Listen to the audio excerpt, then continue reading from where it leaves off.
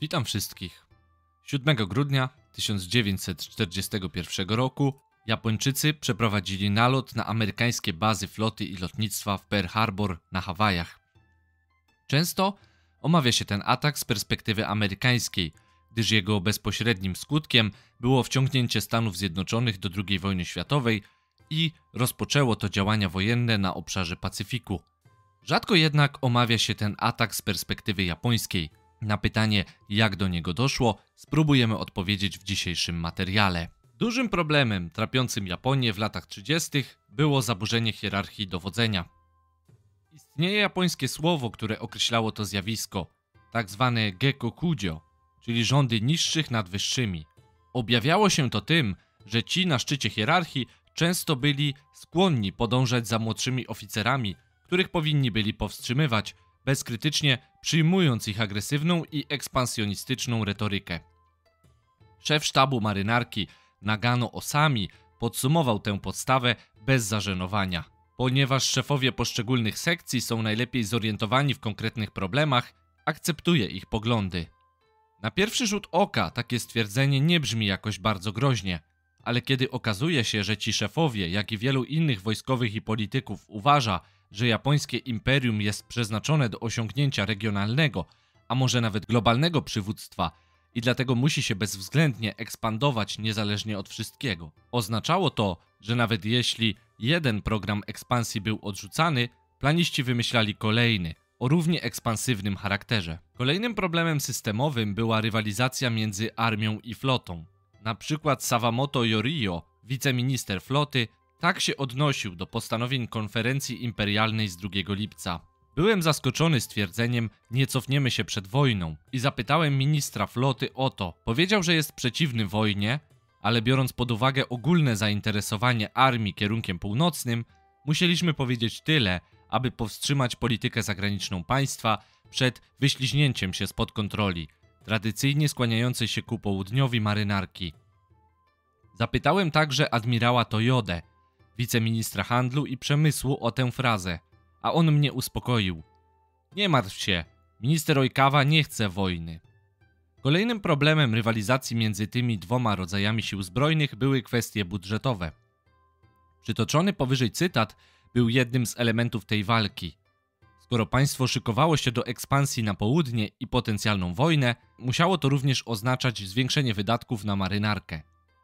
Klasycznym motywem, który rozbijał możliwość skutecznego rządzenia i dawał duże wpływy marynarce i wojsku, była kwestia tego, że ministrem marynarki i armii był zawsze oficer w służbie czynnej. Z tego względu podlegał on rozkazom odpowiednich sztabów, które mogły mu nakazać na przykład poddanie się do dymisji, a to zgodnie z praktyką polityczną Cesarstwa Japonii powodowało upadek całego gabinetu. Krótkowzroczne i życzeniowe myślenie przywódców szło w parze z gotowymi odwołaniami do wysokich moralnych ideałów Japonii, przewagi japońskiego ducha, wielkiej misji Japonii w wyzwalaniu całej Azji spod zachodniego kolonializmu oraz ich życzenia pokojowego rozwiązania impasu dyplomatycznego i gospodarczego. Żaden z tych celów nie był dla nich sprzeczny, o ile pozostawał w abstrakcji. Tworzyły one iluzję ideologicznej spójności i jednolitości w japońskim przywództwie. Problem Indochin. Pierwsze napięcia między rządami pojawiły się już w latach 30., a ich szczególne natężenie to rok 1937 i wojna chińsko-japońska. Zresztą problem chiński będzie jednym z głównych powodów niemożności dojścia do porozumienia pomiędzy dwiema stolicami, a ostatecznie wzajemne nieporozumienia dotyczące tego zagadnienia, które nakręcały spirale, która to ostatecznie doprowadzi oba kraje do wojny. W ciągu kolejnych lat narastały nieporozumienia na linii Tokio-Waszyngton, w tym przede wszystkim sankcje gospodarcze czy wsparcie dla reżimu Chiang Kai-sheka, a ugrzęźnięcie militarnej Japonii w chińskim interiorze i ogromne straty ludzkie i finansowe tylko utwierdzały pozycje negocjacyjne japońskich dyplomatów i sprawiały, że osiągnięcie porozumienia satysfakcjonującego obie strony byłoby niezwykle trudne. Ale takim punktem prawdziwie przełomowym, z czego zresztą początkowo japońscy decydenci nie zdawali sobie sprawy dla postrzegania japońskiej ekspansji w Azji Południowo-Wschodniej przez USA, była okupacja południowej części francuskich Indochin. Okupację należy wziąć w cudzysłów, gdyż tak naprawdę administracja cywilna została pozostawiona Francuzom, a Japończycy całkiem pokaźnymi siłami zabezpieczyli główne bazy w południowej części Indochin. O ile obecność militarna Japonii w północnych Indochinach od jesieni 1940 roku, także uzgodniona traktatowo z Francją Vichy, miała na celu złagodzenie rządu Chiang Kai-sheka i jego wojska, to jest odcięcie go od zachodniej pomocy. O tyle teren południowych Indochin mógł także w przyszłości stanowić bazę wypadową do inwazji na holenderskie Indie Wschodnie, których surowce, guma oraz ropa były niezbędne dla coraz bardziej izolowanej politycznie i gospodarczo Japonii do prowadzenia dalszej wojny w Chinach. Po początkowych wahaniach część proniemieckich polityków i wojskowych Japonii ponadto uważała, że przebazowanie amerykańskiej floty latem 1940 roku z San Diego do Pearl Harbor sprawiało, że wojna z Ameryką stawała się nieunikniona. Na to wszystko nakładała się oczywiście sytuacja wojenna w Europie i poważne osłabienie trzech imperiów kolonialnych, to jest Francji, Wielkiej Brytanii i Holandii, które posiadały olbrzymie i bogate w surowce posiadłości w Azji Południowo-Wschodniej. Posiadłości, które z powodu upadku tych państw, czy jak w przypadku Wielkiej Brytanii ich całkowitego zaangażowania w wojnę w Europie, znajdowały się w próżni bezpieczeństwa i dla części japońskich przywódców stanowiły łakomy kąsek, z którego grzech byłoby nie skorzystać. Z drugiej strony byli politycy, jak na przykład Matsuoka Yosuke, minister spraw zagranicznych, którzy starali się kierować japońską ekspansję na północ, na obszary radzieckiej Syberii, dopóki Niemcy jeszcze nie pokonali Sowietów, co jak obawiano się nastąpi w ciągu kilku miesięcy. Choć sam Matsuoka nie był tak też do końca przeciwny ekspansji w kierunku Indochin. Szef sztabu armii lądowej Sugiyama Hajime w odpowiedzi na agresywny projekt Matsuoki. Minister spraw zagranicznych propaguje agresywną politykę, ale armia wcale nie jest przygotowana. Możemy zaatakować tylko wtedy, gdy warunki w Chinach na północy i na południu będą korzystne we wszystkich trzech kierunkach. Należy być świadomym, że jeśli przyspieszymy atak na Związek Radziecki, Stany Zjednoczone mogą połączyć siły ze Związkiem Radzieckim. Generał Sugiyama był świadomy, że atak na Związek Sowiecki może sprawić, że Amerykanie zainterweniują jeszcze z większą siłą na zachodnim Pacyfiku, ale jednocześnie odrzucał to ryzyko w przypadku wprowadzenia wojsk japońskich do Indochin. Matsuoka natomiast odrzucał całkowicie takie zagrożenie z kierunku północnego, za to bardziej obawiał się szeroko zakrojonej ekspansji na południe. Proponował m.in. przełożenie wkroczenia do południowych Indochin o 6 miesięcy. W kwestii ekspansji na kierunku północnym uważał, że Amerykanie nienawidzili Związku Sowieckiego. Co może i było prawdą, ale zgodnie z maksymą, że wróg mojego wroga jest moim przyjacielem, Moskwa mogła okazać się cennym sojusznikiem przeciwko jeszcze bardziej znienawidzonej III Rzeszy. Ostatecznie plany wejścia do Indochin zostały zaakceptowane 2 lipca na tzw. Tak konferencji imperialnej, na którą przybyli kluczowi politycy oraz wojskowi, którzy mieli w obecności cesarza dyskutować nad sprawami wagi państwowej. Były to rzadkie zgromadzenia, najczęściej zwiastujące albo początek, albo koniec wojny. Wbrew nazwie, cesarz nie miał praktycznie żadnego znaczenia na tych posiedzeniach, a jedynie słuchał propozycji, a potem zatwierdzał te, które zyskiwały poparcie zgromadzonych. Mimo, że sama instytucja nie miała konstytucyjnych podstaw, ze względu na rangę zgromadzonych decydentów, a także boską sankcję imperialną, jej postanowienia nie zostały nigdy obalone. Matsuoka tak odpowiadał na propozycję inwazji na Indochiny. Musimy ostrożnie korzystać z siły. To jedno, aby zmusić francuskie Indochiny do wysłuchania naszych żądań, pokazując naszą siłę. To zupełnie coś innego, aby z niej skorzystać. Nie chcemy, aby nasze działania były postrzegane jako inwazja. Mówicie, że nie będziemy się wstrzymywali przed walką z Wielką Brytanią i Stanami Zjednoczonymi. Ale jak pogodzić tę determinację z rzeczywistością braku przygotowania do takiej wojny? Skłaniam się ku temu, że Wielka Brytania i Stany Zjednoczone zareagowałyby, gdybyśmy przystąpili do okupacji południowych Indochin. Jakie jest prawdopodobieństwo, że nowa polityka skłoni ich do wspólnego działania przeciwko Japonii? Chciałbym klarownej odpowiedzi. W odpowiedziach pojawiały się zapewnienia, że działania w Indochinach będą prowadzone za zgodą Francji, metodami pokojowymi, ale Matsuoka i tak nie był przekonany. Nie chcąc dostosować się do opinii większości, pogwałcił tym samym zasadę decydowania na takich zgromadzeniach opartą na zasadzie konsensusu. Obawiano się powtórki z 1940 roku, kiedy japońska armia, wkraczając za zgodą rządu francuskiego do północnych Indochin, otworzyła ogień do niektórych francuskich oddziałów. Tak zwany incydent langsoński, które nie chciały się poddać. Mimo, że szybko udało się dojść do porozumienia z Francuzami, to echa tego wydarzenia obijały się szeroko w świecie zachodnim i sprawiły, że Japończycy tylko pogorszyli swoją reputację. Szef sztabu armii Sugiyama tak podsumował rozważania o Indochinach. Realizacja zaproponowanego planu oporu przeciwko intrydze angloamerykańskiej, mającej na celu ekonomiczne izolowanie Japonii, jest konieczna. Jeśli plan Niemiec dominacji w Europie dozna porażki, tak, staje się możliwe, że Stany Zjednoczone podejmą wojnę z Japonią. Ale Niemcy obecnie wygrywają wojnę. Tak potężnym sojusznikiem za sobą, sądzę, że Amerykanie nie pójdą z nami do wojny z powodu francuskich Indochin. Oczywistym jest, że musimy przeprowadzić okupację w sposób pokojowy. Mamy pokusę wejść także do Tajlandii, ale byłoby to zbyt blisko brytyjskiej Malezji, co stwarzałoby duży problem. Dlatego tym razem zatrzymujemy się na granicach francuskich Indochin. Zamierzamy bardzo ostrożnie realizować ten plan. Większość obecnych zgadzała się z tymi słowami. Wejście do Indochin japońskiej armii, przeprowadzone z najwyższymi środkami ostrożności, nie powinno wywołać wojny z mocarstwami zachodnimi. Hirohito miał wtedy powiedzieć: Zastanawia mnie legalność tego przedsięwzięcia pod względem zasad prawa międzynarodowego. Jednak z uwagi na pewność środowisk popierających kierunek południowy, a także z powodu niechęci Hirohito do Matsuoki, który zgłaszał uwagi, plan został zaakceptowany. Mimo tych wszystkich zapewnień o pokojowej okupacji, niepokoił szczególnie jeden pasus zawarty w zaakceptowanym planie, który stwierdzał, że cesarstwo nie cofnie się przed wojną z Wielką Brytanią i USA, gdyby te chciały przeszkodzić jej w pokojowej ekspansji. To stwierdzenie miało mieć głównie polityczny charakter i skierowane było przeciwko Matsuoce, który mówił o tym, że ekspansja południowa musi spotkać się z reakcją Wielkiej Brytanii i USA. Z tego też powodu wojskowi, którzy byli zwolennikami tego kierunku ekspansji, mimo ogólnych zapewnień o pokojowej formie całej awantury, dodali ten fragment, by przekonać Matsuokę o swojej determinacji.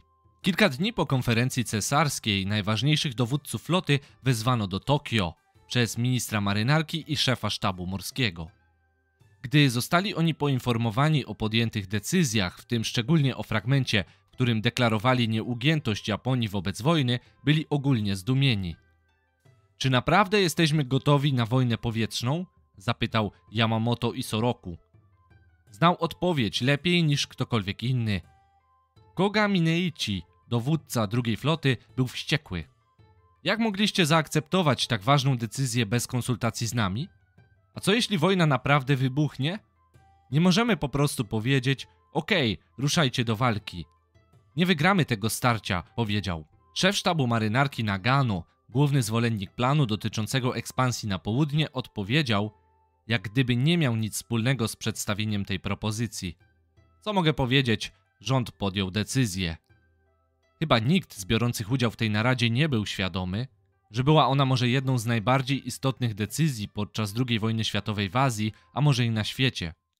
Jej uczestnicy uratowali Związek Sowiecki przed katastrofą, a droga jaką obrali ściągnęła takową na ich głowy. Wydaje się, że obawy niektórych wojskowych o interwencję USA w przypadku ataku Japonii na ZSRR są nietrafione, wobec ciągle silnej przecież pozycji izolacjonistów w samych Stanach. Zamiast zaatakować śmiertelnego wroga Japonii, nad którym zwycięstwo byłoby trudne, ale możliwe, decydenci japońscy skierowali cesarstwo na drogę konfrontacji z państwem, którego potencjał gospodarczy i położenie sprawiały, że zwycięstwo było praktycznie niemożliwe. Najlepiej o zmarnowanej okazji niech świadczy reakcja prezydenta Roosevelta na postanowienia tej konferencji. Amerykanie w ciągu tygodnia zdekodowali wiadomość z treścią postanowień końcowych konferencji, która została wysłana do ambasady Japonii w USA. Roosevelt z radością przywitał porzucenie opcji ataku na Związek Sowiecki, jednocześnie był nieco zaniepokojony japońską gotowością na wojnę z Anglosasami. Niezmiernie ważne dla kontroli Atlantyku jest to, abyśmy utrzymali pokój na Pacyfiku, dodając: Po prostu nie mam dość floty, aby rozdzielić jej siły. I każde niewielkie wydarzenie na Pacyfiku oznacza mniej statków na Atlantyku. Odsunięcie ministra spraw zagranicznych Matsuoki. Sytuację skomplikowała też postawa sekretarza stanu USA Cordella Halla, który nalegał na odsunięcie Matsuoki od rządu. Wynikało to z tego, że kilka miesięcy wcześniej japoński minister przedłożył Waszyngtonowi tzw. Tak plan Matsuoki, który miał doprowadzić do jakiegoś porozumienia z Ameryką w sprawie Azji Wschodniej. Szczególnie, że amerykańskie sankcje coraz bardziej dotykały japońską gospodarkę. Co ciekawe, amerykańskie działania w kierunku gospodarczego zduszenia Japonii nasiliły się po zajęciu we wrześniu 1940 roku północnych Indochin, a więc pójście w 1941 roku dalej z ekspansją w tym kierunku musiało spotkać się z odpowiedzią amerykańską. Jeden z głównych punktów tego planu brzmiał następująco: Rządy Stanów Zjednoczonych i Japonii mają wspólny cel doprowadzenia do pokoju światowego. Zatem wspólnie będą dążyć nie tylko do zapobieżenia dalszemu rozszerzeniu wojny europejskiej, lecz także do szybkiego przywrócenia pokoju w Europie. Aspiracje Matsuoki, napędzane niegasnącym pragnieniem wielkości, aby pośredniczyć w pokoju w Europie, mogły być zbudowane na dobrych chęciach, ale kompletnie nie brały pod uwagę pozycji amerykańskich. Administracja Roosevelta nie była w żadnym stopniu skłonna negocjować z reżimem nazistowskim. Ponadto, w jaki sposób kraj niezdolny do zakończenia własnej wojny z Chinami mógłby pomóc zakończyć wojnę innym krajom? Nowa propozycja Japonii wyeliminowała wszelkie warunki, które pojawiały się we wcześniejszych rozmowach Tokio-Waszyngton dotyczących pokoju w Chinach. Mimo, że Amerykanie byli w nich skłonni uznać japoński stan posiadania w Mandżurii, a żądali jedynie wycofania się z Chin. Stało się tak prawdopodobnie dlatego, że Matsuoka nie chciał być związany konkretnymi warunkami. Upierał się, że jeśli Chiang Kai-shek nie zgodzi się na zawarcie pokoju z Japonią, Stany Zjednoczone powinny zrezygnować z poparcia dla jego reżimu. Matsuoka zaoferował gwarancję niepodległości Filipin, pod warunkiem, że wyspy utrzymają status stałej neutralności i że japońska imigracja do Stanów Zjednoczonych będzie traktowana przyjaźnie, na zasadzie równości z innymi narodowościami i wolności od dyskryminacji. Ponadto wykreślono punkt, który znajdował się we wcześniejszych projektach porozumienia, który zobowiązywał, że japońskie działania na obszarze południowo-zachodniego Pacyfiku będą prowadzone drogą pokojową, bez uciekania się do broni. To sformułowanie zostało wykreślone z planu Matsuoki, ponieważ uznano je za nieodpowiednie i niepotrzebnie krytyczne, oraz dlatego, że pokojowa polityka japońskiego rządu została wyraźnie przedstawiona wiele razy w różnych oświadczeniach, zarówno premiera, jak i ministra spraw zagranicznych. To usunięcie oznaczało, że Japonia nie rezygnuje z opcji militarnych w Azji Południowo-Wschodniej. Administracja Roosevelta była zaniepokojona tym faktem. Matsuoka zaskoczył nawet japońskie wojsko swoją nieustępliwą postawą. Chciał, aby wszyscy wiedzieli, że będzie negocjować tylko z pozycji siły lub raczej pozorów siły. Działał z przekonaniem, że opór i asertywność są najcenniejszą walutą w kontaktach ze Stanami Zjednoczonymi. Taka postawa tego japońskiego polityka mogła wynikać z jego doświadczenia z młodości, kiedy przebywał w USA. Po powrocie do Japonii młody Matsuoka miał powiedzieć swojemu nauczycielowi, o hipotetycznym scenariuszu, gdyby Japończyk i Amerykanin spotkali się na wąskiej drodze. Amerykanin nie byłby wdzięczny, gdybyś się przed nim ugiął i uprzejmie ustąpił. Wręcz patrzyłby na ciebie z góry, uważając cię za całkowicie uległego. Ale jeśli uderzysz go w twarz, wtedy zacznie cię szanować, uważając cię za równego sobie. Japońscy dyplomaci powinni od tej chwili zwrócić uwagę na ten amerykański charakter. Zresztą, jeżeli spojrzymy na kierunek w polityce zagranicznej forsowany przez Matsuokę, to jest zbliżenie z Niemcami, a potem podpisanie paktu o neutralności ze ZSRR, to dobrze widzimy, że wszystkie te ruchy miały na celu zwiększenie siły Japonii, która potem mogłaby przełożyć się na pozycję negocjacyjną z Amerykanami. Tutaj Matsuoka jako miłośnik i uczeń kanclerza Metternicha starał wytworzyć równowagę sił, która zapobiegłaby wojnie ze Stanami. Naciski Hala tak zdenerwowały Matsuokę, że ten mimo, że rozumiał potęgę amerykańską i jej przewagę nad Japonią, uniósł się honorem i stwierdził, że amerykański stosunek do niego pokazuje dobrze, że Jankesi traktują Japonię jako jakiś protektorat.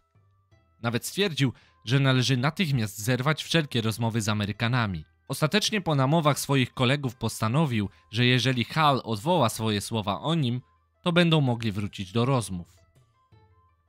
Wojskowi podczas rozmów z Matsuoką również nalegali na kontynuowanie rozmów z Waszyngtonem. Nawet niesławny Hideki Tojo, nazywany brzytwą, podzielał te opinie. Nawet jeśli nie ma nadziei, powinniśmy dążyć do pokoju do samego końca. Rozumiem, jak trudne to może być, ale o ile będziemy prawdziwie komunikować do Waszyngtonu, co my, Japończycy, uważamy za słuszne, nasze uczucia na pewno dotrą do nich. Po czym minister floty Oikawa dodał: W marynarce istnieje ocena, że sekretarz stanu Hall pragnie uniknąć wojny na Pacyfiku. Japonia nie pragnie wojny na Pacyfiku, czy więc naturalnie nie istnieje przestrzeń do osiągnięcia pokoju? Warto tu też zaznaczyć, że mimo że Matsuoka w swoim planie wysłanym Waszyngtonowi upierał się, aby Japonia mogła użyć siły na południu, a po powrocie z Europy po zawarciu Paktu Trzech argumentował za natychmiastowym uderzeniem na Singapur, aby pomóc niemieckiej sprawie wojennej. Choć dla innych przywódców mogło to być trudne do zrozumienia, istniała jasna różnica w umyśle Matsuoki między rodzajem działań, które wcześniej popierał, a niedawnym programem ekspansji na południe, któremu się sprzeciwiał. Wyobrażał sobie japoński atak na Singapur jako szybki, precyzyjnie wymierzony gest odstraszający, podczas gdy plan okupacji Indochin według niego ryzykował rozpoczęcie większej wojny, aby móc prowadzić tę z Chinami. Natomiast część przywództwa, zarówno cywilnego, jak i wojskowego, naiwnie wierzyła, że nawet jeśli Ameryce nie spodoba się przejęcie południowych Indochin, to i tak z racji na odległość i kwestię europejską, Waszyngton się nie ruszy. Co więcej, ci ludzie nie podejrzewali nawet, że Amerykanie znali japońskie szyfry i wiedzieli o ich zamiarach z dużym wyprzedzeniem. Matsuoka był pokonany, a dodatkowo jego utrzymanie na stanowisku groziło całkowitym zerwaniem rozmów z Amerykanami. Sam Matsuoka nie zamierzał rezygnować z funkcji ministra spraw zagranicznych. Z tego też względu 16 lipca rząd księcia Konoe poddał się do dymisji.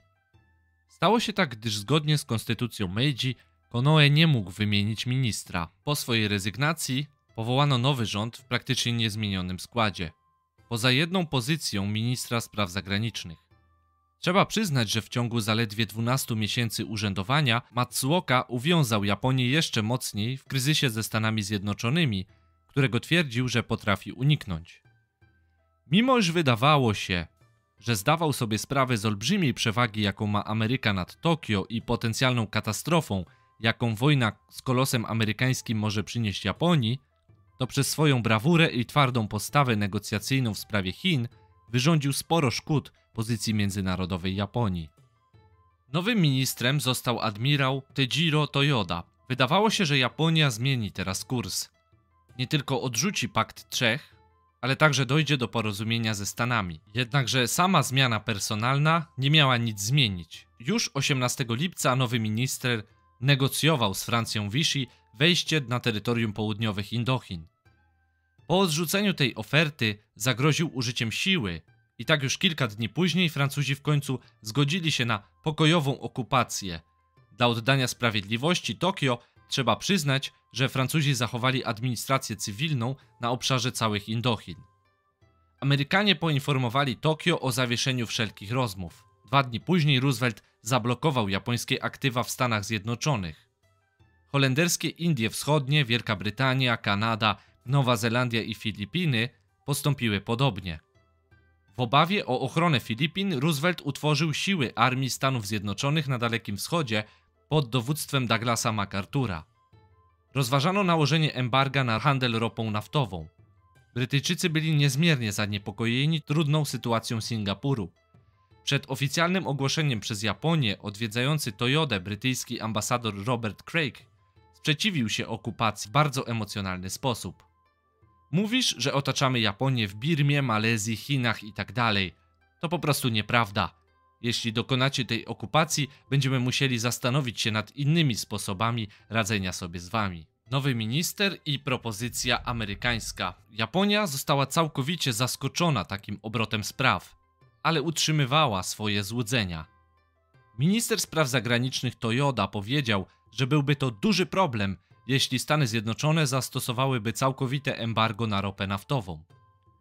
W dzienniku Sztabu Generalnego Armii zanotowano, że obawy Toyody były przesadzone, w reakcji na histeryczne raporty ambasadora japońskiego w Stanach Nomury, ostrzegające przed amerykańską odwetową reakcją. Jesteśmy przekonani, że nie będzie embarga na ropę, o ile nie pójdziemy dalej niż militarna okupacja południowych francuskich Indochin. Jeden z pracowników Ministerstwa Marynarki i przy okazji Spiritus Movens ekspansji na południe, Takada Toshitane, tak wspominał o tej sytuacji wiele lat później. Nie mieliśmy pojęcia, że Stany Zjednoczone będą tak zagniewane naszym wkroczeniem do południowej części francuskich Indochin. My, włącznie ze mną, myśleliśmy, że wejście do południowych Indochin było w porządku i powinno być w porządku. To było bezpodstawne przekonanie. Nie, nie zapoznawałem się z opiniami nikogo innego, jak Ministerstwo Spraw Zagranicznych. W jaki sposób wierzyliśmy, że USA nic nie zrobią? Ten błąd jest niewybaczalny, był niewybaczalny. Nomura Kishi Saburo, ambasador japoński w Waszyngtonie, próbował ratować sytuację. Powiedział Rooseveltowi, że on sam był osobiście przeciwny wkroczeniu do Indochin. Prawdopodobnie to było podstawą nadziei Roosevelta, że planowana przez Japonię południowa ekspansja może zostać jeszcze powstrzymana. Roosevelt wysunął następującą propozycję do Nomury. Jeśli japoński rząd powstrzymałby się od zajmowania Indochin siłami wojskowymi i morskimi, lub jeśli takie kroki zostały już podjęte, a japoński rząd wycofałby takie siły, prezydent mógłby zapewnić japoński rząd, że zrobi wszystko co w jego mocy, aby uzyskać od rządów Chin, Wielkiej Brytanii, Holandii i oczywiście samych Stanów Zjednoczonych wiążące i uroczyste oświadczenie, pod warunkiem, że Japonia podjęłaby to samo zobowiązanie, aby traktować Indochiny jako zneutralizowany kraj, w ten sam sposób, w jaki mocarstwa dotychczas traktowały Szwajcarię. Była to najbardziej wyjątkowa propozycja pojednawcza, jaką kiedykolwiek przedstawił Waszyngton. Odzwierciedlała strategiczne znaczenie francuskich Indochin, które dostarczały Stanom Zjednoczonym cynk, kauczuk i inne kluczowe surowce. Ponadto Rooseveltowi zależało na oderwaniu Japonii od reżimu Hitlera w każdy możliwy sposób. Trzeba pamiętać, że priorytetem Roosevelta było zapewnienie pomocy dla Wielkiej Brytanii, jak i również dla Związku Radzieckiego. Aby móc skupić się na tym zadaniu, trzeba było zabezpieczyć pokój na Pacyfiku, co wymagało pewnej kreatywności. Ważne jest również to, że prezydent unikał łączenia działań Japonii w Indochinach z większym problemem wojny Japonii z Chinami. To wskazywało na chęć Roosevelta uczynienia swojego planu atrakcyjnym dla Japończyków. Co ciekawe, w kręgach rządowych w Japonii ta propozycja nie spotkała akceptacji. Premier Konoe twierdził później, że Nomura za późno przysłał tę propozycję i dlatego nie przeprowadzono szerszych debat nad nią. Minister spraw zagranicznych Toyoda uważał ponadto, że japońska opinia publiczna została poprzez działania amerykańskie nastawiona bardzo wrogo do Waszyngtonu i uważał, że niemożliwe było odwrócenie kursu, jaki obrał rząd.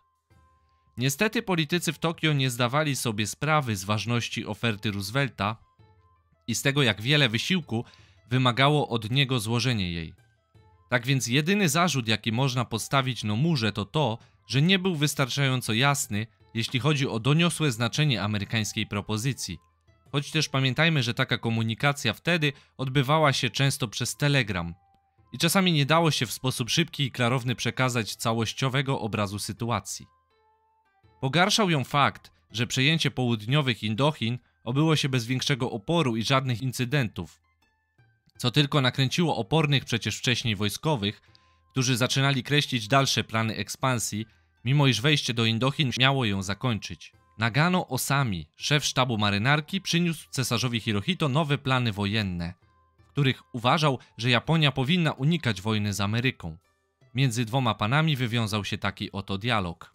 Gdybyśmy zostali odcięci od dostaw ropy naftowej, stracilibyśmy nasze zapasy w ciągu dwóch lat. Gdyby wybuchła wojna, zużylibyśmy je wszystkie w ciągu 18 miesięcy. Aby maksymalnie zwiększyć szanse na przetrwanie Japonii poza tym ograniczonym czasem, doszedłem do wniosku, że nie pozostaje nam nic innego, jak tylko uderzyć, powiedział Nagano. Czy możemy liczyć na duże zwycięstwo, takie jak nasze zwycięstwo nad Rosją na Morzu Japońskim? zapytał Hirohito. Nie jestem pewien co do jakiejkolwiek wygranej, odpowiedział Nagano. Nie mówiąc już o takim ogromnym zwycięstwie, jakie odnieśliśmy na Morzu Japońskim. Co za lekkomyślna wojna, wykrzyknął Hirohito. Ze względu na brak reakcji Tokio na propozycję neutralizacji Indochin, Waszyngton rozpoczął egzekwowanie embarga na ropę naftową 1 sierpnia. Pamiętajmy, że prawie 75% japońskiego zapotrzebowania na ten surowiec zaspokajały właśnie Stany. Technicznie rzecz biorąc, nie miało to być całkowite embargo, które było proponowane w debatach kongresowych. Zamiast tego handel ropą z Japonią miał być objęty znacznie surowszą procedurą licencjonowania, przy czym Japonia nadal mogła nabywać ropę o niskiej jakości, nieodpowiednią dla samolotów. W miarę gwałtownego nasilania się kryzysu ze Stanami Zjednoczonymi, wady Konoe stawały się jeszcze bardziej zauważalne. Znajdował coraz więcej wymówek, aby nie działać. Zwłaszcza gdy czuł się przyparty do muru, tak jak teraz przez Arite Hachiro, doświadczonego dyplomatę, który służył w czterech różnych gabinetach jako minister spraw zagranicznych, w tym pierwszym rządzie Konoe. Napisał on do premiera 1 sierpnia, mówiąc, że Konoe nie powinien był zezwalać na okupację południowych Indochin, podczas gdy Japonia prowadziła negocjacje ze Stanami Zjednoczonymi. Arita nie zawsze był ustępliwy wobec potęg angloamerykańskich, więc to było istotne potępienie dla Konoe Fumimaro. Konoe odpowiedział Aricie 3 sierpnia po wprowadzeniu embarga na ropę naftową. Był to nasz błąd w myśleniu, że okupacja francuskich Indochin nie przyniesie poważnych szkód, ale gdy utworzono nowy rząd po usunięciu Matsuoki, japońskie okręty marynarki zmierzające do Indochin już dotarły do wyspy Hainan. To było tak, jakby strzała już została wypuszczona i nie dało się jej zatrzymać. Jedyne co mógł zrobić, mówił, to modlić się o cud i interwencję boską. Tu oczywiście pojawia się kwestia niemożności wycofania wojsk z powodu zbyt dużej ofiary krwi czy kosztów poniesionych przez konkretne działania. Coś, co przeszkadzało Japonii wyplątać się z konfliktu chińskiego, dawało także o sobie znać w przypadku Indochin. Z tym, że w przypadku południowych Indochin krew żadnego japońskiego żołnierza nie została przelana, a koszty poniesione przez budżet na tę ekspedycję były stosunkowo niewielkie. Jeżeli chodzi o kwestię utraty twarzy przez rząd japoński z powodu wycofania się z Indochin, to w literaturze przedmiotu pojawiają się sugestie, że Konoe mógł chwycić koło ratunkowe o nazwie Neutralizacja Indochin rzucone mu przez Roosevelta i przedstawić swoje działania jako dekolonizacja Azji spod panowania białych imperialistów. Niestety Konoe, jak również reszta głównych oficjeli japońskich, nie był gotowy na podjęcie tego wyzwania. Embargo na ropę naftową wprowadzone przez Stany Zjednoczone 1 sierpnia stało się punktem zwrotnym w stosunkach między USA a Japonią. Japońscy liderzy nie wykorzystali możliwości pokojowego rozwiązania sprawy, który przedstawiała strona amerykańska przed tą datą. Teraz zaskoczeni i przytłoczeni tym, co postrzegali jak niezasłużoną surową karę za pokojową okupację, niektórzy zaczęli patrzeć na wojnę ze Stanami Zjednoczonymi w znacznie mniej abstrakcyjny sposób. Termin wojna, który pojawił się w polityce z 2 lipca i innych, został tam przede wszystkim umieszczony, aby podnieść morale, wspominał Ishi Akiho, starszy oficer w biurze spraw wojskowych Ministerstwa Armii. Ale już tylko miesiąc później powiedział: Ten wojenny zwrot stał się realnym problemem i poczuliśmy się zepchnięci do stawiania sprawy jednoznacznie. Na to nakłada się propaganda japońska, skierowana do swoich własnych obywateli, która przedstawia te sankcje gospodarcze jako linię ABCD od nazwy państw America, Britain, China, Dutch, która okrążała niewinną Japonię.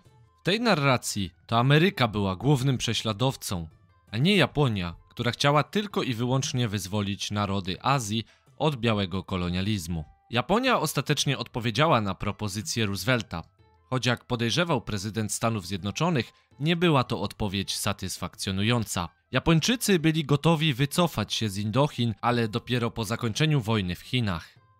Japończycy prosili Amerykanów, by ci pomogli w negocjacjach pokojowych, ale z zastrzeżeniem, że specjalna pozycja Japonii w regionie nie zostanie naruszona. Propozycja, która była swoistym leitmotivem komunikacji między dwoma państwami od dłuższego czasu. Ponadto Japończycy gwarantowali, że nie posuną się dalej niż Indochiny, ale po złamaniu postanowień konferencji monachijskiej przez Hitlera, Amerykanom takie zapewnienia nie wystarczały. W tym okresie wyszła także propozycja od biernego wcześniej premiera Konoe dotycząca jakiejś formy konferencji między oboma państwami, daleko od Tokio, która miałaby doprowadzić do jakiejś formy konsensusu i porozumienia. Było to doprawdy wtedy rzadkie wydarzenie, gdyż przywódcy państwowi raczej ze sobą nie konferowali, a rozmowy dyplomatyczne odbywały się przez ambasadorów i posłów. Podobnym wyjątkiem była tutaj konferencja w Monachium w 1938 roku, która jednak wynikała z nadzwyczajnych okoliczności geopolitycznych. Konoe wskazywał na miejsce poza Japonią, gdyż nie chciałby elementy twardogłowe w armii zakłócały potencjalne rozmowy. Konoe poinformował zarówno ministra armii, jak i marynarki o swoim zamiarze zaproponowania spotkania z Rooseveltem. Pomimo zewnętrznej pewności siebie, w wojsku zaczynała się teraz rozwijać świadomość, że ekspansja na południe była błędem. Choć żaden z liderów nie chciał przyjąć winy za ten błąd, zgodziliby się na odwrócenie sytuacji, zwłaszcza gdyby to było załatwione dyplomatycznie. Marynarka nieprzygotowana do ryzyka wojny na większą skalę na Pacyfiku natychmiast zgodziła się na proponowane przez Konoe spotkanie. Wsparcie ministra armii Tojo było bardzo warunkowe. Według Konoe Tojo oświadczył w podpisanym dokumencie, że nie będzie się zdecydowanie sprzeciwiał spotkaniu Konoe z Rooseveltem. Jeśli premier pójdzie na spotkanie w pełni świadomy, że wojna ze Stanami Zjednoczonymi może być jednym z wyników negocjacji. Tojo dodał, że jeśli konferencja nie przyniesie rezultatów, Konoe powinien kontynuować przywództwo w rządzie w przygotowaniach do wojny. Niestety, timing tej propozycji był fatalny. Japończycy najpierw odrzucili bardzo hojną propozycję o neutralności Indochin wysuniętą przez Roosevelta, a potem poprosili o spotkanie na szczycie. Z amerykańskiej perspektywy nie było w tamtym momencie o czym rozmawiać. I tak też stało się 8 sierpnia. Hall powiedział Nomurze, że japońska odmowa amerykańskiej propozycji wykluczyła takie spotkanie.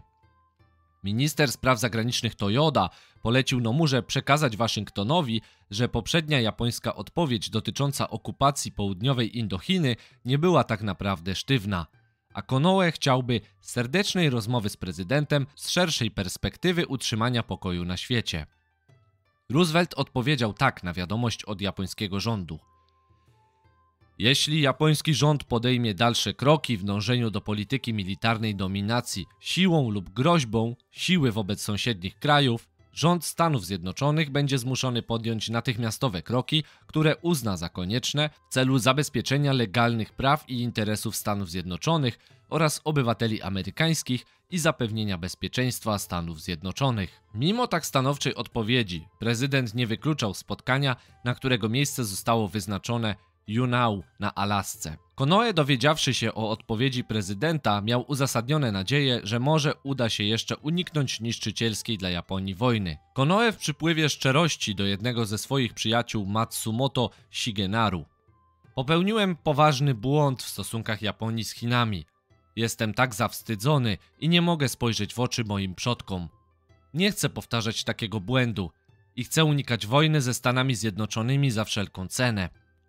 Jeśli to w ogóle możliwe, chciałbym także poprawić relacje między Chinami a Japonią. Postaram się z całych sił.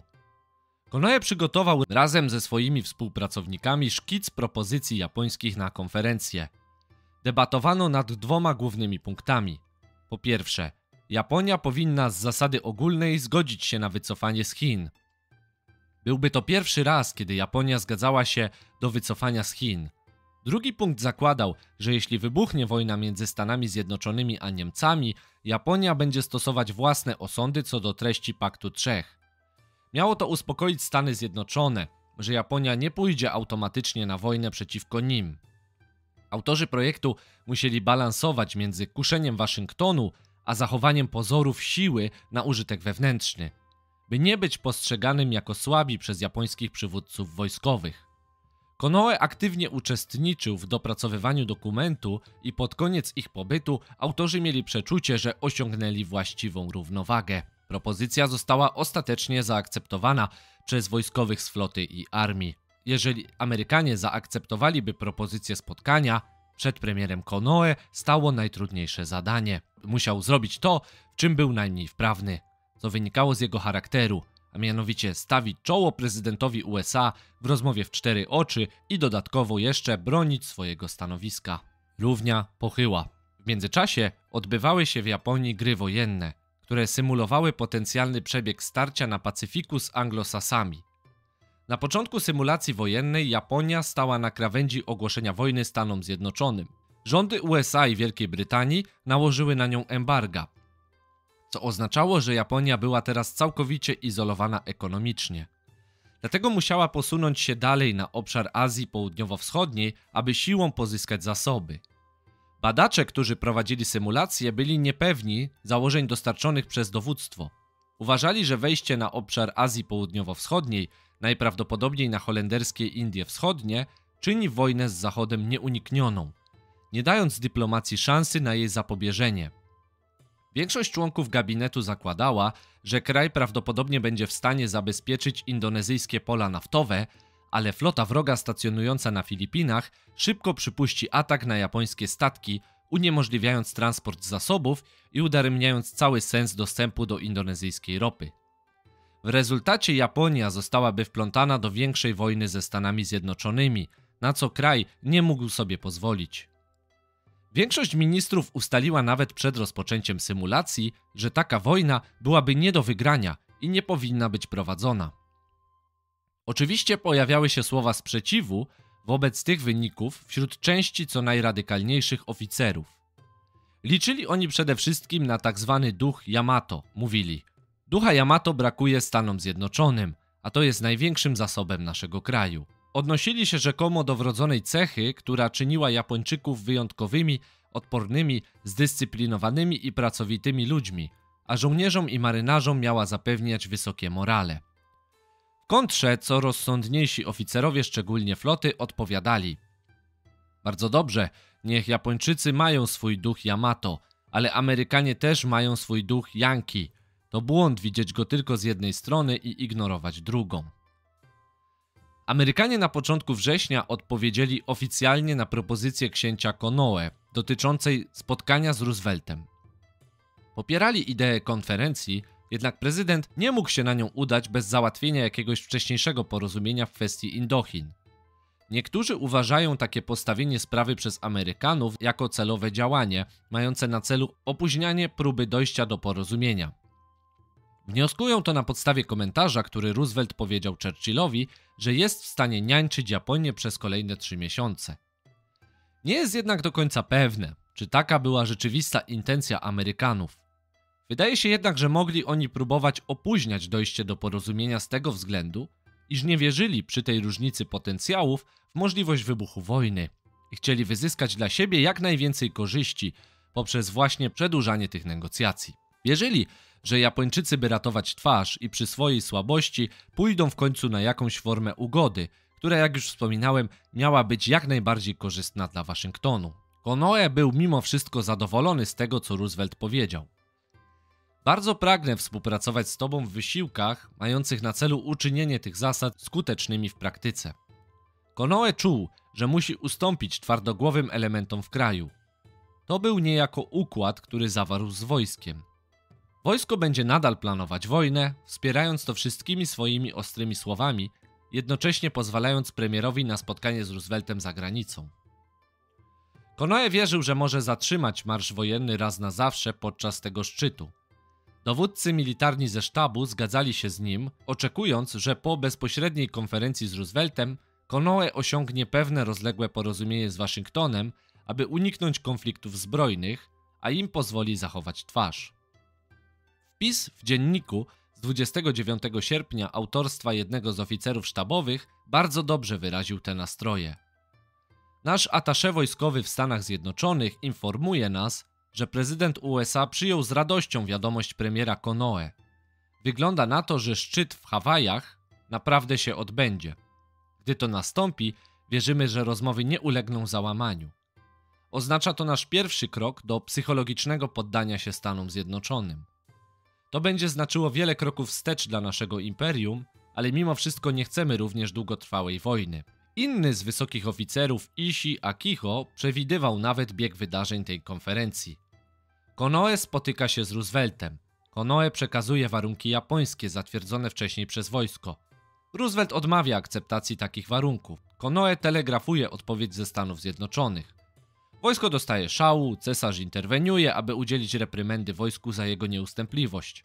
zawierane jest porozumienie pokojowe, które obejmuje wycofanie wojsk Japonii z Chin i Indochin. Przez cały sierpień i początek września jednoczesnym przygotowaniom do konferencji z Rooseveltem towarzyszyły szeroko zakrojone zbrojenia i przygotowania sztabowe do wielkiej wojny z Anglosasami. Japońscy liderzy zgodzili się na wspólny plan wojskowy przygotowywany od końca sierpnia, który nazywał się Podstawy realizacji polityki imperium. Twierdzał, że mimo zalecenia polityki kontynuowania negocjacji ze Stanami Zjednoczonymi, Japonia podejmie wojnę, jeśli rozmowy nie przyniosą rezultatów przed wcześniejszym terminem w październiku.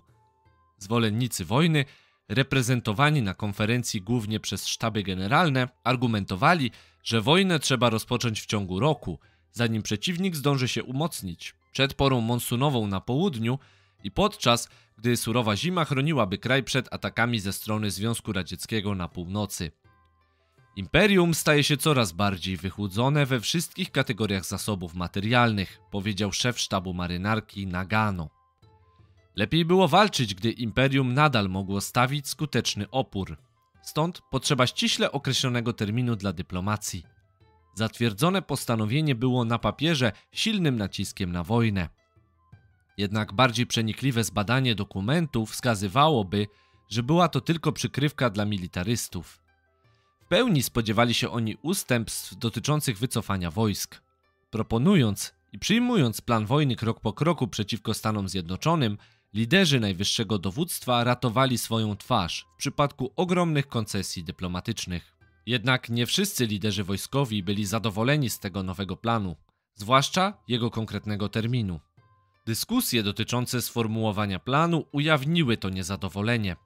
Minister marynarki wojennej Ojkawa nie chciał ściśle zdefiniować, co miało oznaczać niepowodzenie dyplomatyczne. Podobnie odnoszono się do październikowej daty.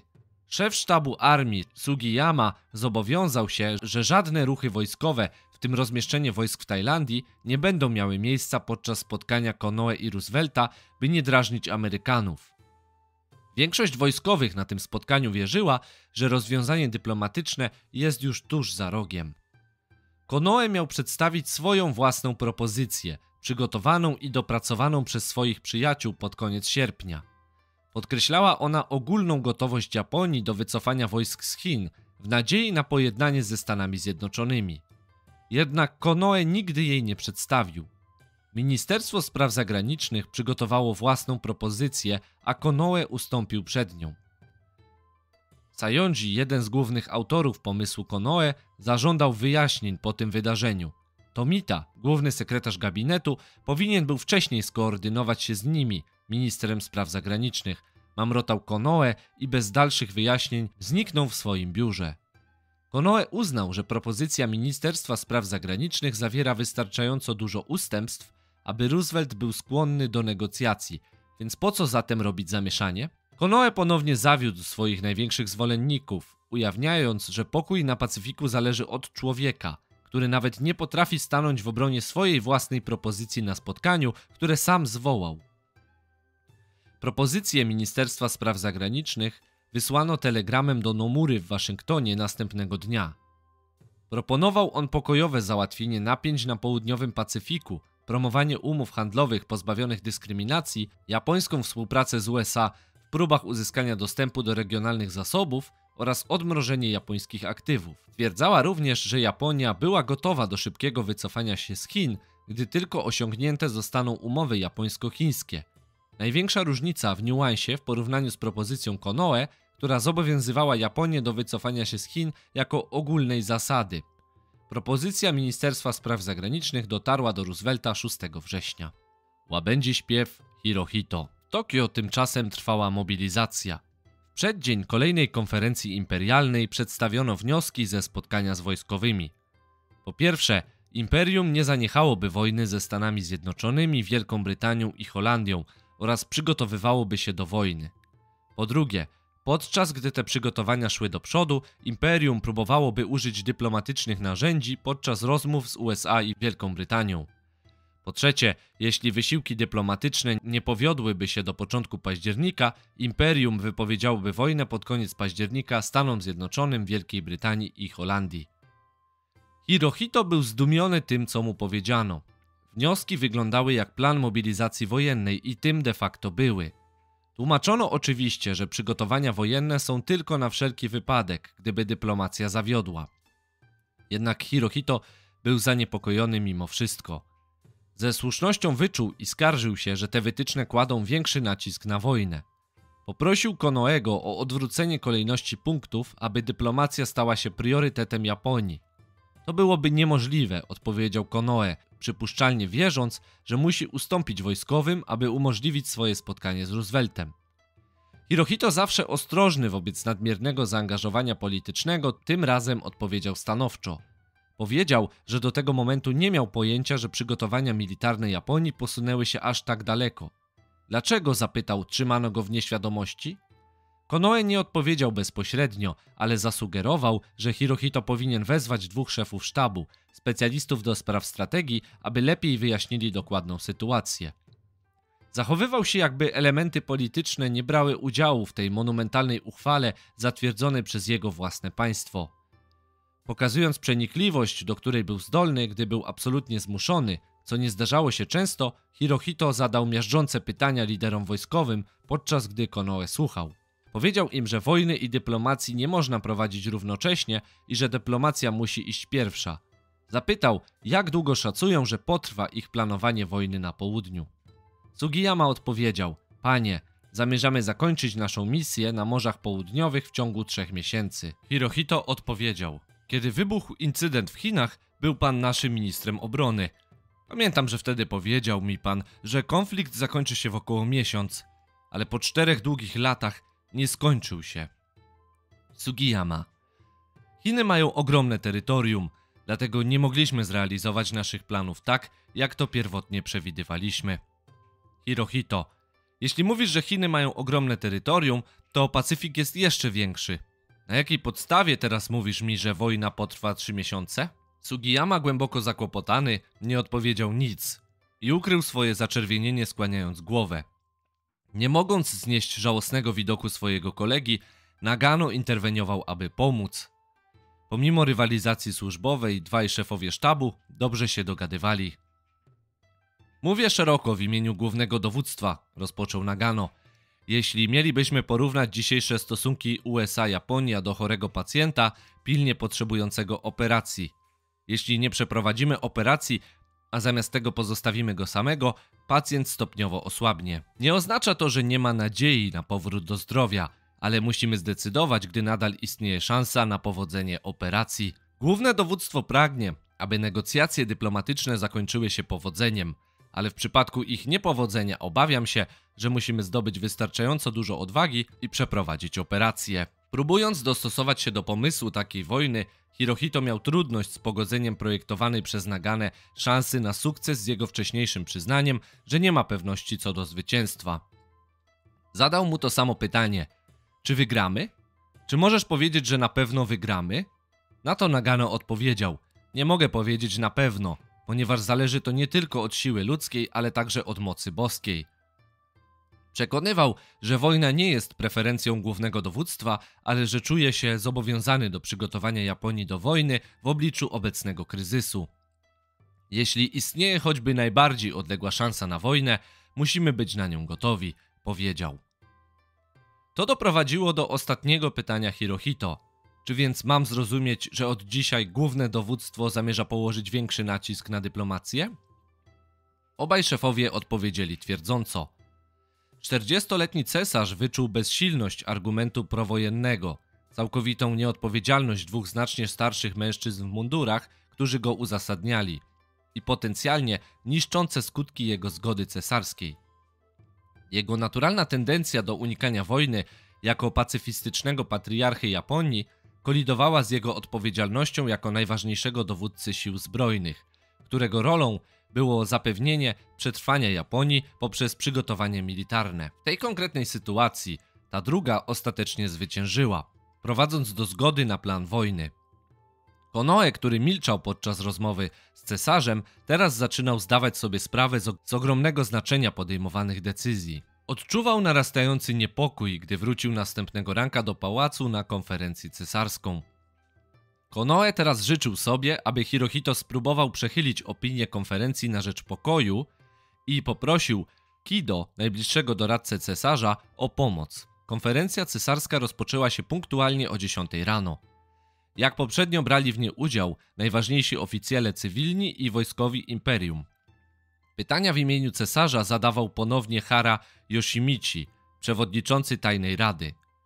Jakby poniekąd rekonstruując wcześniejszą wymianę zdań Hirohito z szefami sztabów, Hara zapytał ich obu, czy strategia czy dyplomacja ma pierwszeństwo w polityce zagranicznej Japonii. Żaden nie odpowiedział, wywołując niezręczne milczenie. Spodziewano się, że Hirohito obserwujący całą sytuację pozostanie cicho, ale teraz ku zdziwieniu wszystkich odezwał się. Pytanie przewodniczącego Hary było naprawdę odpowiednie. To przykre, że obaj szefowie sztabu generalnego nie są w stanie na nie odpowiedzieć. Następnie wziął kawałek papieru z kieszeni. Był to wiersz napisany przez jego zmarłego dziadka, wielkiego cesarza Meiji. Ze względu na swoją niezbyt satysfakcjonującą rozmowę z oboma panami poprzedniego dnia, a także na prośbę premiera Konoe o jakąś cesarską interwencję tego ranka, przyniósł go ze sobą. Cesarz odczytał.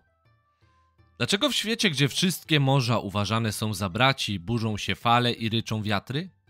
Ten pacyfistyczny lament, skondensowany do 31 japońskich sylab, został napisany na początku wojny rosyjsko-japońskiej. Odczytując go na głos, Hirohito wyraził swoje fundamentalne niezadowolenie z nowej propozycji i swoje pragnienie, aby Japonia uniknęła wojny, lub przynajmniej taki był zamiar tego metaforycznego ujęcia sytuacji. Niestety, recytacja wiersza stworzyła tylko dziwną i beznadziejną atmosferę biernego oporu. Cesarz stał się metaforą dla Japonii, narodu, który został zmuszony do podjęcia niepożądanej akcji zbrojnej z powodu nacisków zewnętrznych, pomimo swoich pokojowych preferencji. Wiersz o pokoju nie uwolnił Hirohito od jego zwyczajnego obowiązku cesarskiego. Zatwierdził on propozycję konferencji imperialnej mimo wszystko, tym ostateczny termin na negocjacje pokojowe. Nie można się oprzeć pytaniu, co by się stało, gdyby Hirohito był bardziej wyraźny w swoim sprzeciwie wobec wojny lub po prostu gdyby odmówił zatwierdzenia planu. Zamiast czytać wiersz otwarty na wiele możliwych interpretacji, Dlaczego nie mógł po prostu powiedzieć, że wojna nie wchodzi w grę?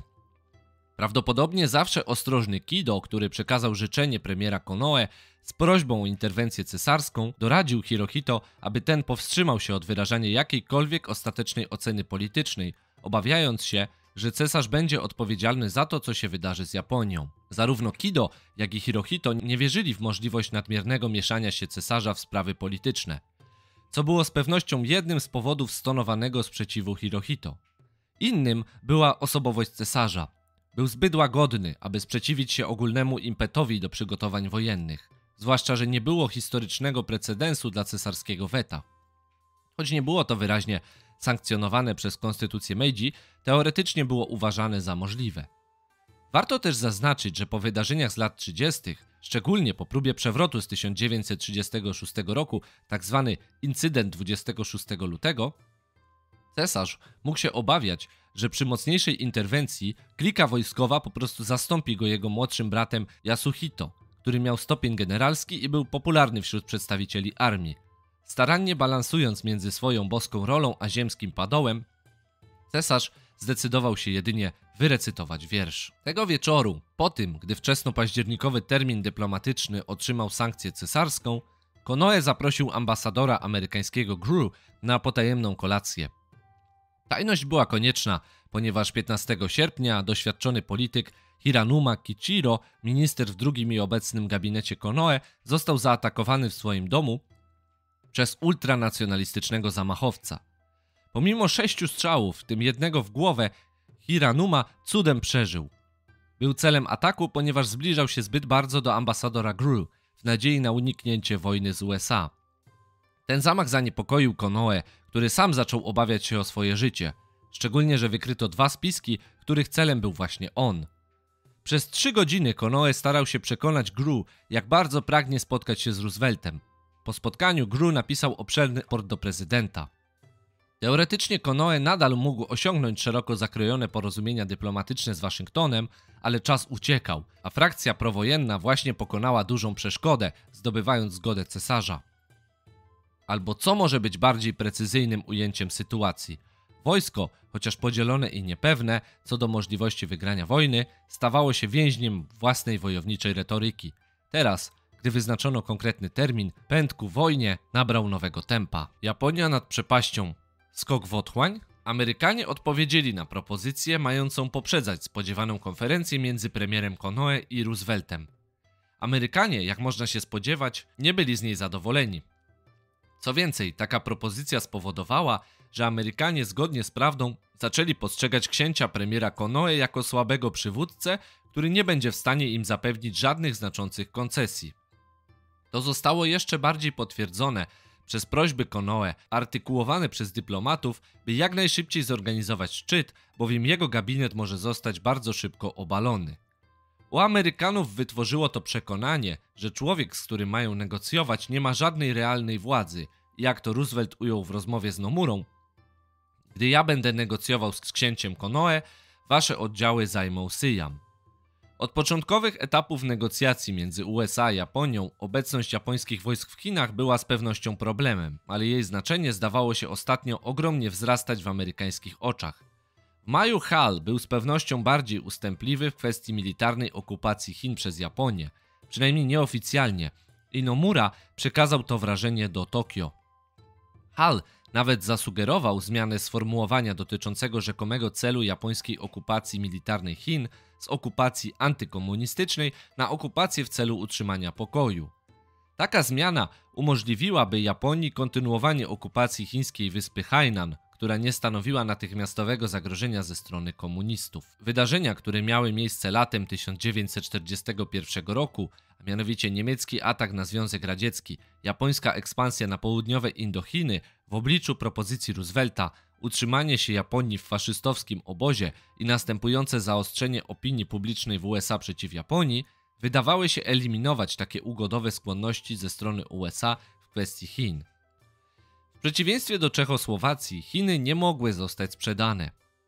Negocjowanie porozumienia między USA a Japonią bez uregulowania kwestii chińskiej stało się teraz, używając słów Sumnera Wellsa, jak pytanie, czy sztukę Hamleta można by przedstawić na scenie bez postaci Hamleta. Gdyby Konoe zaproponował, jak to nakreślili jego przyjaciele, że Japonia z zasady zgadza się wycofać swoje wojska z Chin, zamiast wysyłać wersję ministra spraw zagranicznych, sytuacja mogła być zupełnie inna. Konoe mógł za to winić tylko siebie. 2 października ambasador Nomura został wezwany do mieszkania sekretarza stanu Hala na godzinę 21. Otrzymał oświadczenie, w którym wezwano Japonię do zaakceptowania czterech zasad sekretarza stanu, które brzmiały: 1. Szacunek dla integralności terytorialnej, suwerenności każdego z narodów. 2. Poparcie zasady niemieszania się w sprawy wewnętrzne innych krajów. 3. Poparcie zasady równości, w tym równości szans handlowych. I 4. Niezakłócanie statusu quo na Pacyfiku, chyba że status quo może być zmienione drogą pokojową. Hall poprosił następnie Japonię o przedstawienie Stanom Zjednoczonym jasnego wyrazu intencji Japonii w kwestii wycofania japońskich wojsk z Chin i Indochin francuskich. Co do związku Japonii z państwami osi, powiedział, że byłoby pomocne, gdyby japoński rząd mógł poddać dalszej analizie kwestię możliwego dodatkowego wyjaśnienia swojej pozycji. Zdecydowanie podkreślił również, że nie będzie żadnego szczytu, dopóki nie będzie porozumienia w kwestiach istotnych. Nomurze wielokrotnie przypomniano, że administracja uważała, iż żadne prowizoryczne ustalenie nie sprostałoby sytuacji ustanowienia pokoju na obszarze Pacyfiku. Waszyngton uważał również, że dla zminimalizowania niekorzystnej opinii publicznej musi zapewnić sukces każdego spotkania, które moglibyśmy zorganizować. Nomura dobrze wiedział, że te żądania nie znajdą zrozumienia w Tokio, Najbardziej praktycznym rozwiązaniem w umyśle Nomury było zorganizowanie szczytu, na którym można było mówić wszystkie te kwestie. Powiedział Halowi ponownie, że jego rząd jest poważny i szczery w chęci zorganizowania takiego spotkania. Powiedział również, że z powodu sytuacji wewnętrznej w Japonii trudno jest rządowi zobowiązać się do czegokolwiek przed rozmowami. Sam premier Konoe był w tych dniach mocno przyciśnięty przez przedstawicieli floty i armii. Naciskali oni na księcia, że przecież zgodził się w przypadku fiaska negocjacji na wojnę z Ameryką. Naciskali również, że wycofanie się z Chin byłoby sprzeczne z honorem.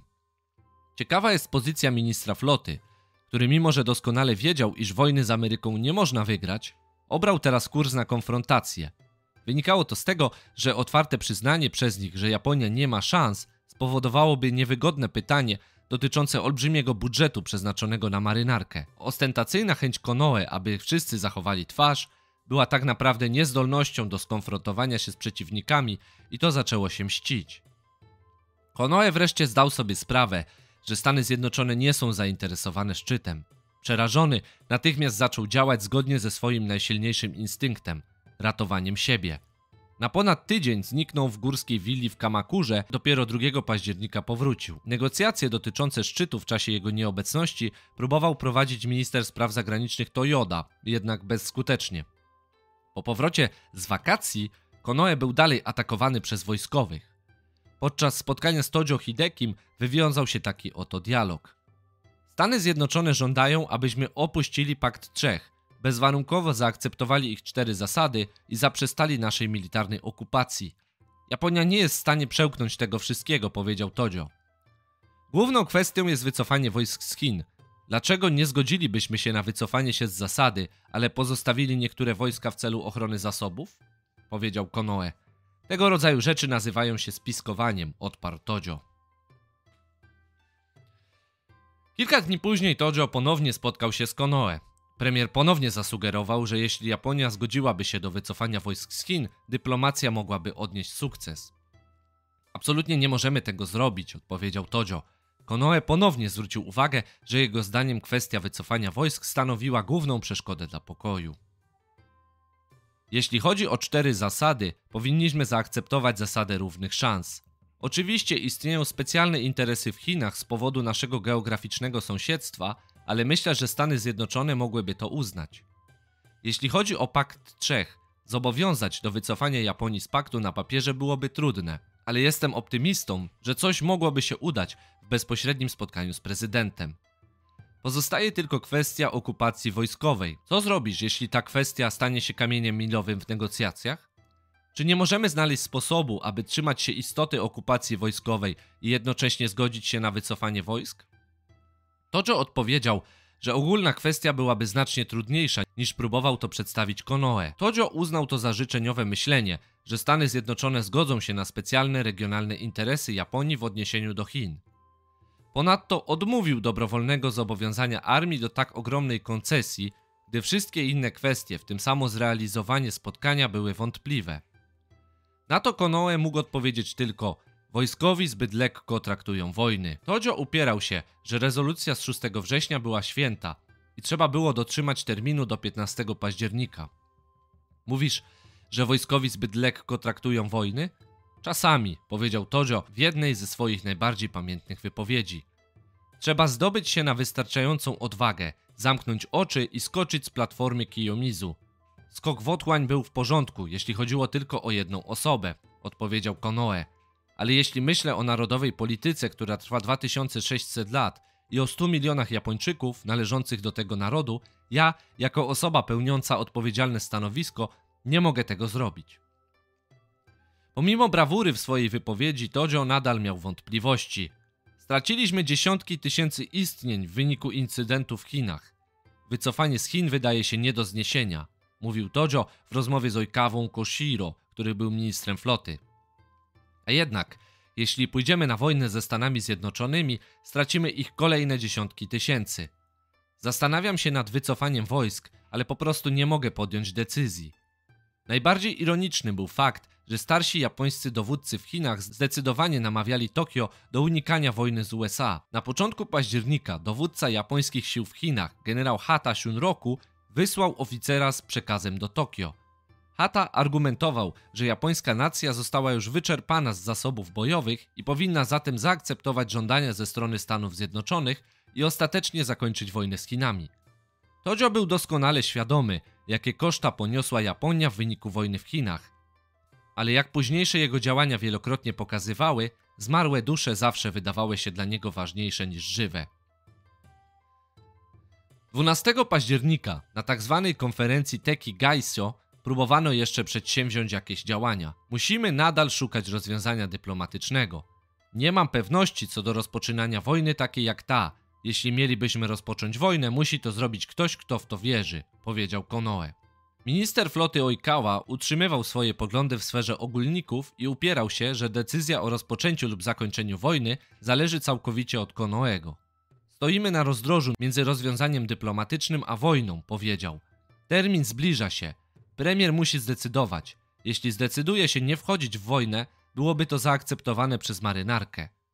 Konoe próbował jeszcze jednego manewru. Jeśli pozwolicie mi panowie być brutalnie szczerym, rezolucja konferencji imperialnej z 6 września była pochopna, powiedział. Zrobiliśmy to nawet mimo, że odpowiednie dokumenty dotarły do nas tylko dwa dni wcześniej. Teraz Tojo zaczął być zirytowany postawą Konoe. W odpowiedzi na jego stwierdzenie, że nie ma pewności co do wojny takiej jak ta, krzyknął na niego: Zaskakujesz mnie. Co masz na myśli, że nie masz pewności? Czy to nie jest coś, co powinieneś był zgłosić, kiedy decydowaliśmy o zasadach realizacji polityki imperium na konferencji imperialnej? Tojo upierał się, że rząd musi trzymać się uchwały z 6 września po prostu dlatego, że została podjęta. Był jak zawsze stanowczy w oskarżaniu innych, nie zdradzając nawet na moment wewnętrznego konfliktu, który niedawno ujawnił Ojkawie. Pokazywał swoją publiczną twarz, swoją maskę. To jest niewiarygodne, wykrzyknął. Teraz było już za późno na zmianę tak ważnej i co najważniejszej dla niego zatwierdzonej przez cesarza uchwały. Bez względu na słabo wyrażone zdanie cesarskie.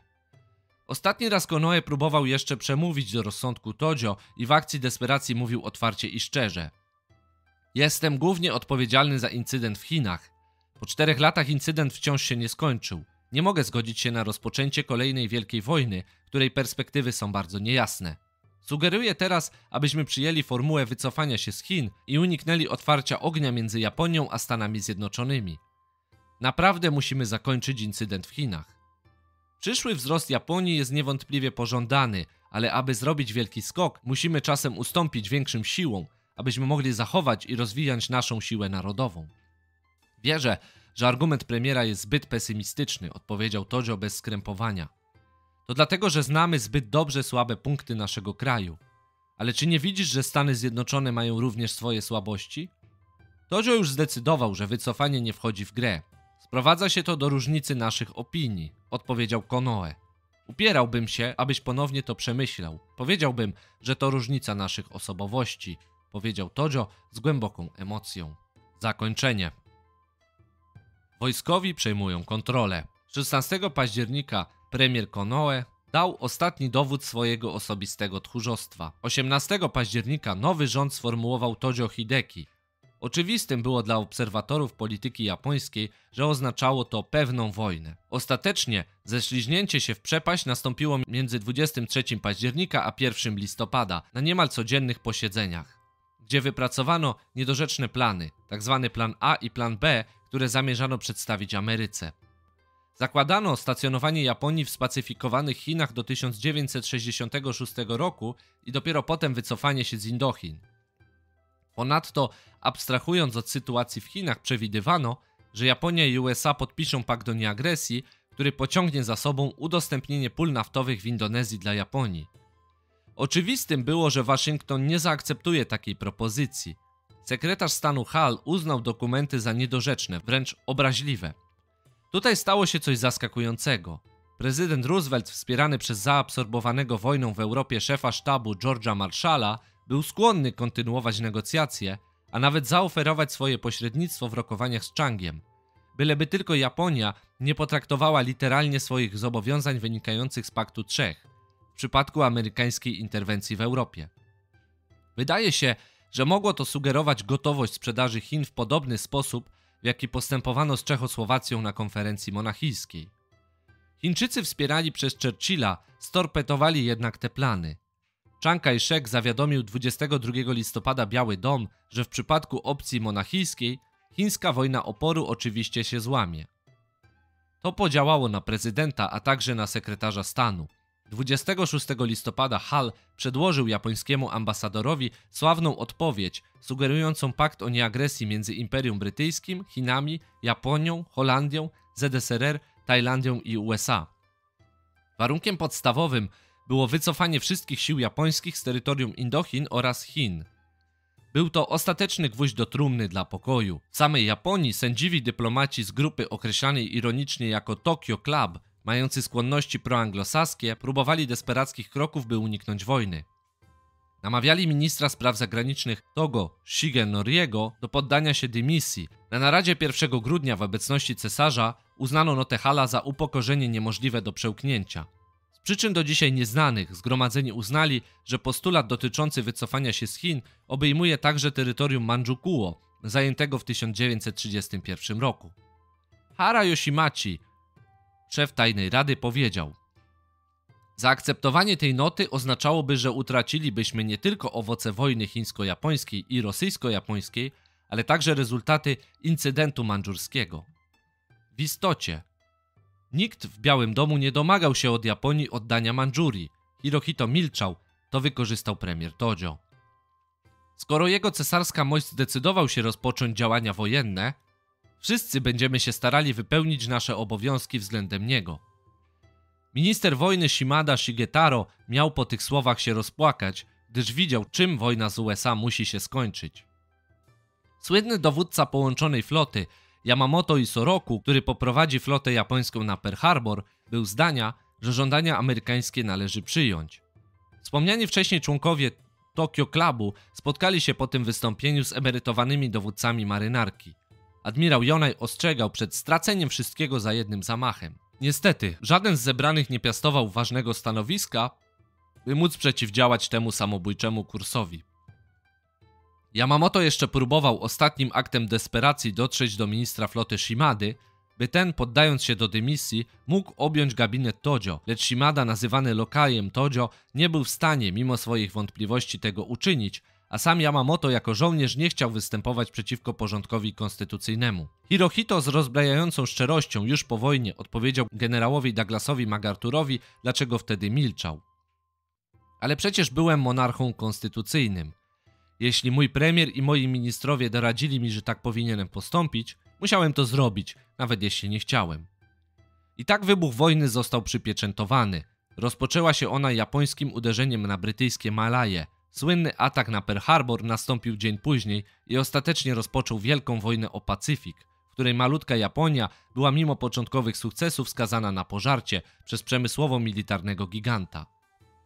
Warto tutaj nadmienić, że często pojawiające się teorie spiskowe dotyczące tego, że Amerykanie rzekomo wiedzieli o ataku na Pearl Harbor i nie zrobili nic, żeby mieć pretekst do wejścia do wojny.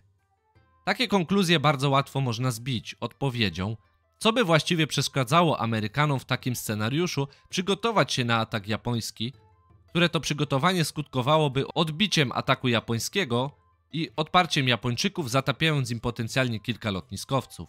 Pretekst do wojny, który nawet taki odparty atak by dał, i tak byłby wystarczający dla kongresu. Idealnym podsumowaniem wydarzeń z drugiego półrocza 1941 roku niech będzie cytat z historyka Dalekiego Wschodu Jakuba Polita.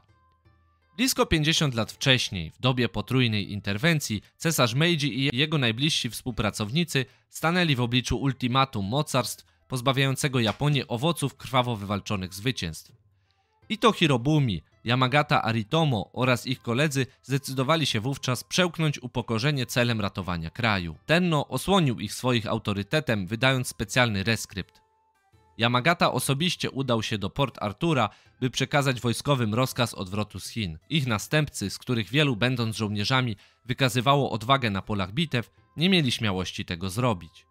Jak stwierdził potem gorzko cesarz, wszystkim im, także monarsze, zabrakło siły charakteru w tych decydujących momentach. Bardzo dziękuję za wysłuchanie. Nie zapomnijcie o zostawieniu subskrypcji z dzwoneczkiem, a także łapki w górę. Jeśli materiał Wam się wyjątkowo podobał, Zapraszam na patronite.pl beczka prochu. Dziękuję za wszystkie komentarze. Do usłyszenia.